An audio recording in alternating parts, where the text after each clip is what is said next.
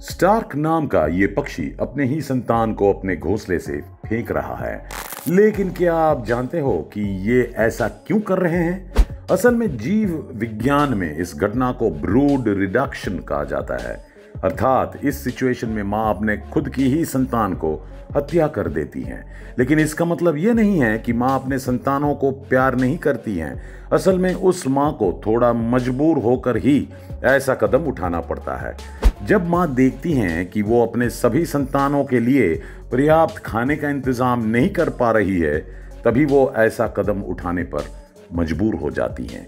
लेकिन ऐसे में ज़्यादातर वो अपने सबसे कमज़ोर संतान को ही मौत के मुँह में धकेल देती हैं।